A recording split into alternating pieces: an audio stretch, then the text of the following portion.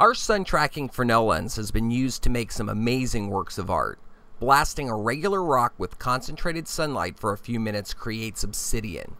Now it's time to permanently erase some data in a new video series we call Total Destruction, Solar Style.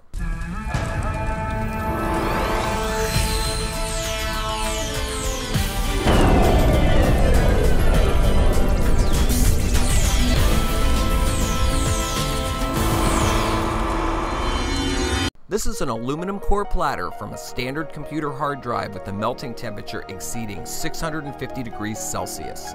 The shiny surface comprised of various metals initially reflects the concentrated sunlight.